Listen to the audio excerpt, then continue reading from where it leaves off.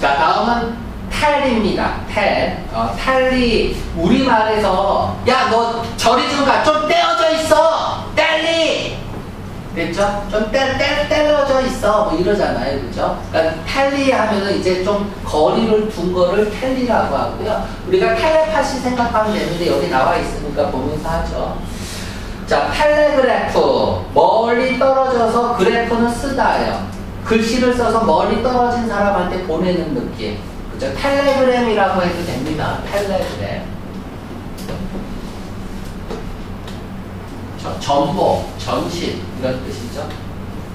전신을 보내다. 우리가 뭐 전신을 보내다 할때 선을 통해서 보내는 거니까 와이어가 동사로 쓰이면은 전신을 보내다라는 뜻이야. 와이어.